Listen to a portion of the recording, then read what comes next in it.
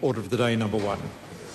The State Honourable, Sector Management Bill, first reading. Mr Speaker, the Honourable Tony Ryall. uh, Mr Speaker, I move that the State Sector Management Bill be now read a first time. Uh, at the appropriate time, Mr Speaker, I will move that the State Sector Management Bill be considered by the Education and Science Committee, that the committee report finally to the House on or before the 24th of November 2010, and that the committee have authority to meet at any time while the House is sitting except during oral questions and during any evening on a day on which there has been a sitting of the House and on a Friday in a week in which there has been a sitting of the House, despite Standing Orders 187 and 1901B and C. This State Sector Management Bill is an omnibus bill providing for machinery of government changes across several sectors that have been well signalled.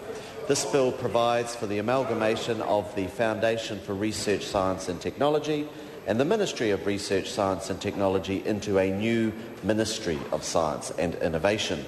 It provides for the Minister of Research, Science and Technology to appoint boards to make independent funding decisions, and it provides for the amalgamation of the National Library and Archives New Zealand into the Department of Internal Affairs.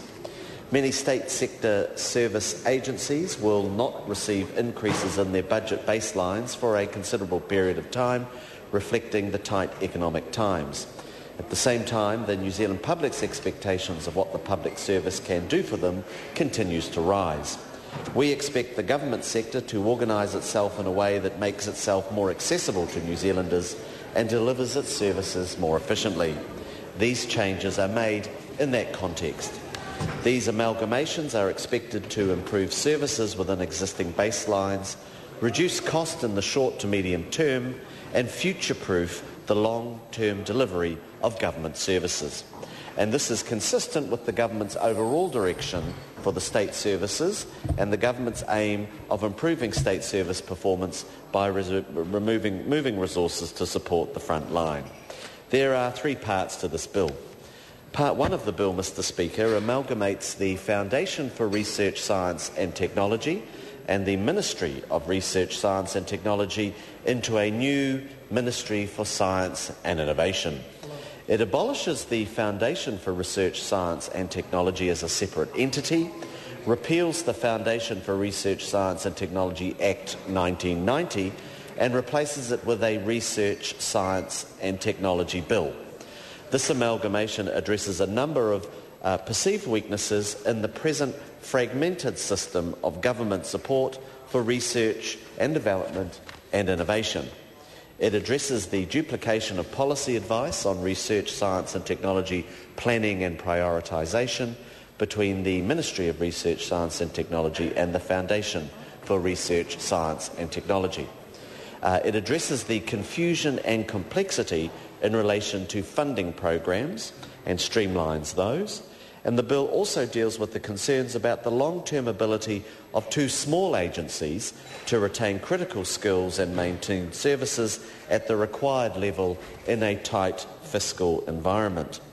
Uh, the bill will enable the Minister to establish one or more boards to make independent decisions on proposals for the allocation of specified funding for research, science and technology.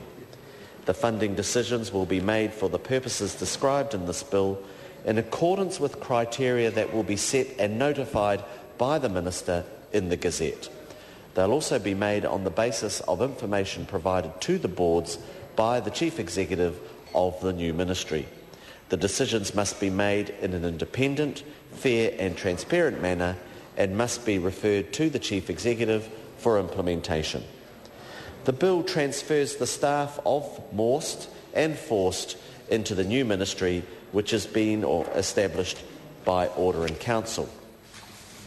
Parts 2 and 3 of the bill uh, provide for the amalgamation of the National Library and Archives New Zealand into the Department of Internal Affairs. Uh, these amalgamations recognise the increasing role that technology will play in enabling government to manage information efficiently and effectively so that New Zealanders can access information in ways that suit them. Each of these three agencies stores and provides information that is collected by government for the benefit of New Zealand and New Zealanders. All three are investing to deliver information online 24-7.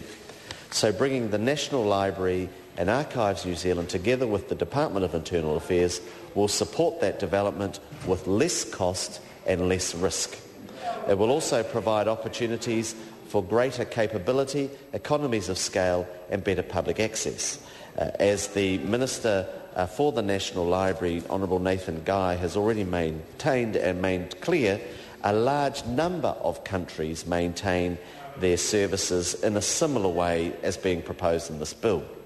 In undertaking this amalgamation, the legislation has preserved the statutory roles of the National Librarian, the Chief Librarian of the Alexander Turnbull, Turnbull Library and the Chief Archivist.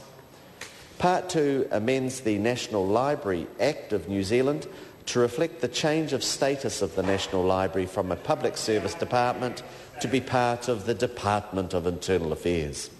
It maintains the statutory role of the National Librarian and preserves the National Librarian's functions within the Department of Internal Affairs. It maintains the statutory role of the Library and Information Advisory Committee and the, Guardi- and the Guardians Kaitiaki of the Alexander Turnbull Library. It also continues the Alexander Turnbull Library and the functions of the Chief Librarian of the Alexander Turnbull Library, who is to be appointed by the Chief Executive of the Department of Internal Affairs on the recommendation of the National Librarian. The bill also provides for the transfer of staff from the National Library to the Department of Internal Affairs. Part 3 amends the Public Records Act to reflect the change of status of Archives in New Zealand from a public service department to be part of the Department of Internal Affairs. It maintains the statutory office of the Chief Archivist and, prever- and preserves the constitutional role requiring the Chief Archivist to make decisions independent of the Minister and the Chief Executive of the Department of Internal Affairs in relation to the following public officers and local authorities on disposal of records, issuing standards, providing advice and monitoring compliance with the Act, and exempting a public office or local authority from compliance with a standard or instruction issued by the Chief Archivist. It also maintains the statutory role of the Archives Council and provides for transfer of staff from Archives New Zealand to the Department of Internal Affairs. It, it is intended that the bill be divided into the following three separate bills at the Committee of the Whole stage, a Research, Science and Technology Bill, a National Library of New Zealand Amendment Bill and a Public Records Amendment Bill. Uh, Mr Speaker, uh, the substance of this bill has been uh, well signalled and its purpose is to streamline and improve the delivery of public services in New Zealand. Important safeguards and constitutional arrangements are maintained in order to enhance and protect the role of uh, some designated officers and it also brings New Zealand in line with the way that a number of other jurisdictions deal with these areas, and I certainly commend the bill to the House. Members, the question is the motion be agreed to.